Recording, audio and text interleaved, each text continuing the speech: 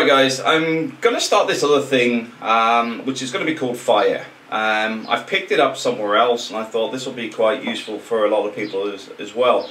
It's financial independence and retire early. That's it, FIRE. Um, so there's a lot of stuff I'm trying to look at where it's easier for other people to implement. Um, because a lot of this stuff I'll pick up and I'll just go with it, but as somebody brought up in one of the comments, when he worked for some two people, one person could pick up the stuff really fast, the other person was very good with money.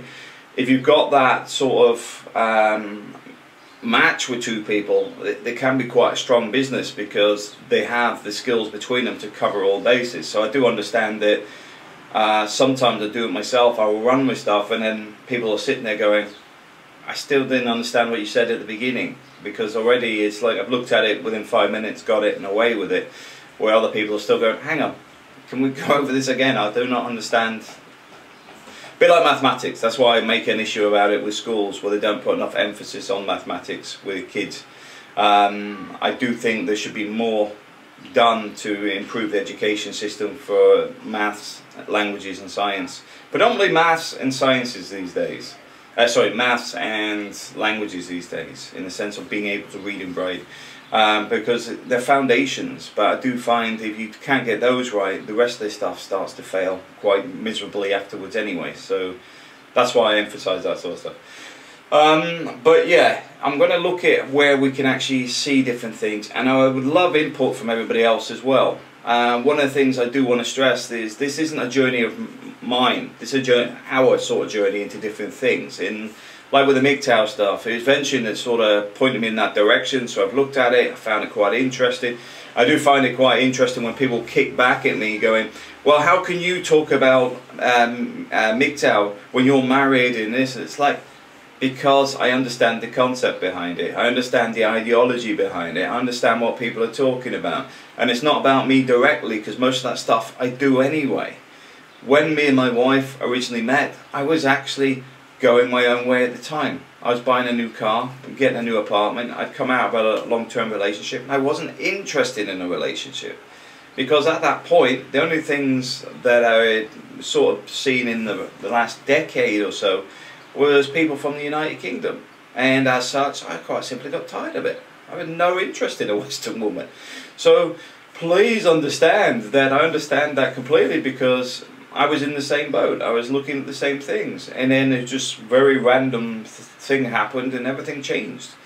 But also, it shows that not everything needs to be a 100% mixed out In the sense of you follow the ideology um, of looking after yourself, self-sustainability, increasing your independence, etc. It also means that you could still get in a relationship later if you decided to do so. Because one of the things I am very strong on is you never dictate to anybody what they need to do with anything. It should be a freedom of choice. Um, but it also means that you can take some of the bits that you find fit with you, and if, it, if you're not keen on staying on your own or whatever, it doesn't really matter. Because the thing is, if you recognize the independence, you recognize the risks, you recognize uh, how to move forward in life, then you've got a lot out of it, and that's all that matters. And this is like this, financial independence, retire early. And I know some people are going to go, well, I'm only 20 something. Yeah, but it's a bit like my father. He, he had a, when he joined the military, he had an advisor there that was saying, when you're overseas, make sure you buy a house before you go, because you're going to have army quarters anyway. But rent the house out and then when you finish with the army, it's already paid for because you just move people in there and they rent it out.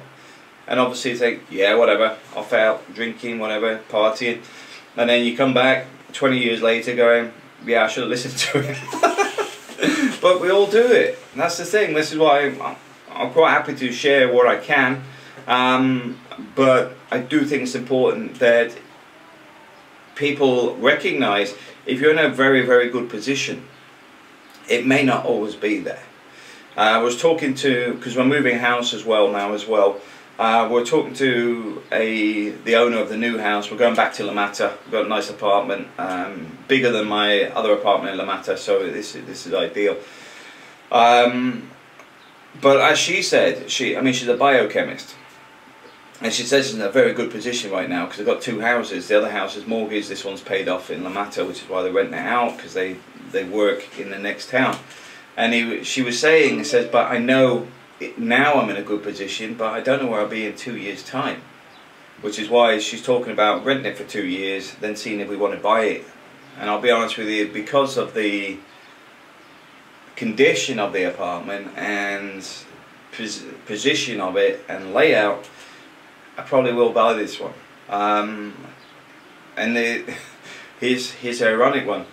It's actually above the other apartment I lived in, La Mata, but it's a bigger one. So it's a extra bedroom on this one, and it's got a balcony and other bits. So I, I'm stoked on moving over there. But anyway, it all comes from creating your own financial independence. Recognizing retirement early doesn't mean retirement where you just sit there and wait to die. Retirement is actually more to do with enjoying the stuff that you want to do. It could be a case of financial independence and travel early. It doesn't need to be retire early. You can be doing other stuff. And this is why when people um, work towards retirement, I don't understand that. My personal point is I know too many people that died after retirement because they didn't put anything in there. They're like, save, gonna retire, just going to sit in the sun or whatever. Yes. Nothing keep the brain motivated, nothing to keep physically going. Sit on YouTube, sit on um, forums, sit on this. That's what happens with a lot of them. Others, alcoholism. Others, um, they just become very bitter because there's nothing to do.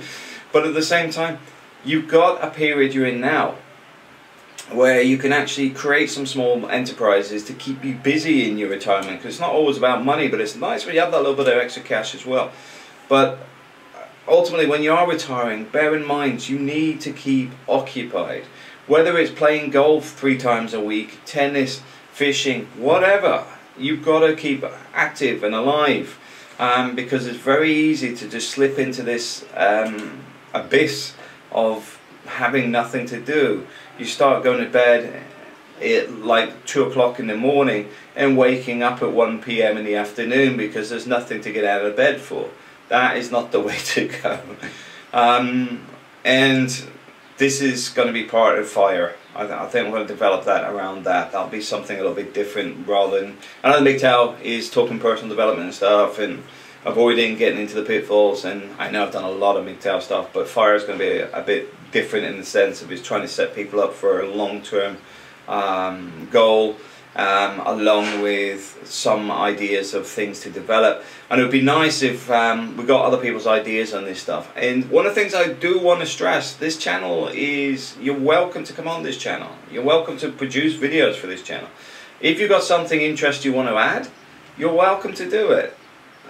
I mean I'm I, I know um, when I met Barry, Barry found me quite intimidating from watching me on YouTube, but found me completely different in person.